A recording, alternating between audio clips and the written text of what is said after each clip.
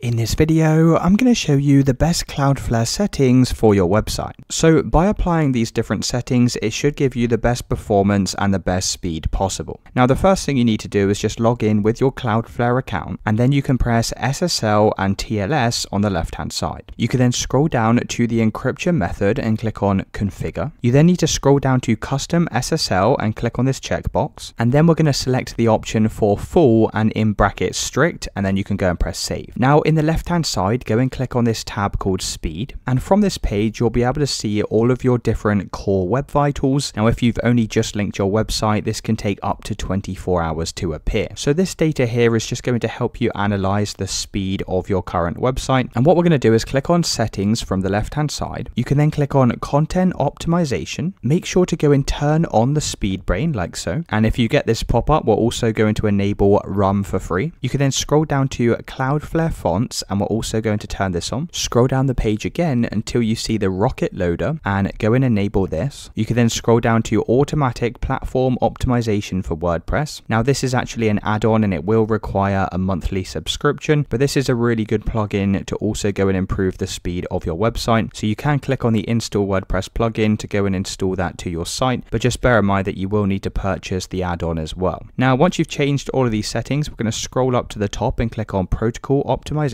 Make sure all of these different HTTP requests are turned on and enabled. And you can also turn on the zero RTT connection resumption. This will improve the speeds for people who've previously visited your website. Now, once you've applied all of these settings, you'll need to click on caching from the left hand side, click on configuration, and then select purge everything. You can then press purge. Now, what this will do is it will refresh your website with a brand new version and apply all of these different changes. So now you can just go and check your website and to make sure it's working as intended and that should now give you the best settings for Cloudflare. Let me know in the comments if you found this video helpful.